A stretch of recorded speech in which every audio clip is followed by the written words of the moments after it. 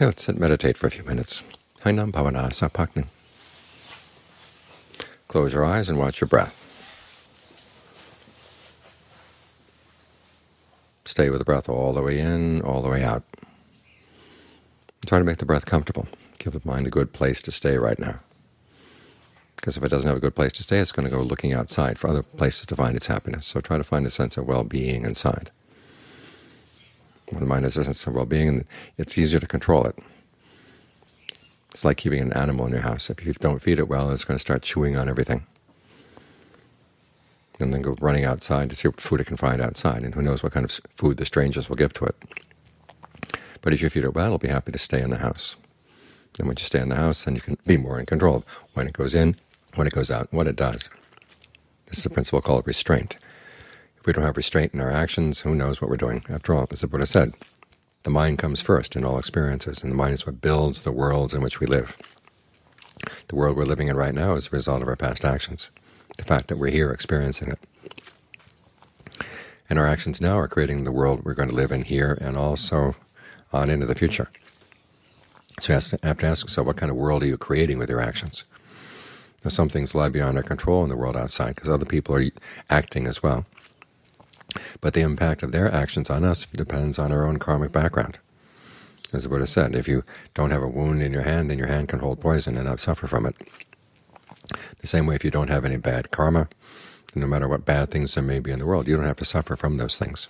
If you've got a wound, though, this, the poison will seep in your hand. You can die from it. So you want to make sure you're not leaving any openings for other people's bad karma to come in and have an effect on you. We live in a crazy world right now, but you don't want to be crazy along with the world. Remember that what you're doing is creating the world that you're going to experience now and on in the future. So you want to be careful about what you do.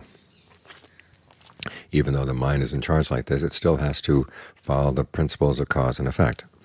And one of them is if you act in harmful ways, the harm will come back to you and you have to act in ways that are skillful, and then you're going to receive the results that are pleasant. Those, those are laws of causality that we can't change. We have to learn how to live within them and use them to our own advantage. And the advantage being a happiness that doesn't harm anybody, a happiness that lasts. So when you're thinking and acting and speaking, ask yourself, what kind of world am I creating through my actions? And be very careful not to create anything that's going to be harmful and to withstand the impulse to do things that are harmful. And this is why we feed the mind with sense of well-being through the breath, through the sense of well-being through the concentration.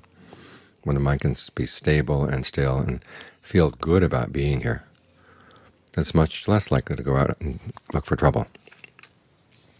Why look for trouble when you have something good inside already?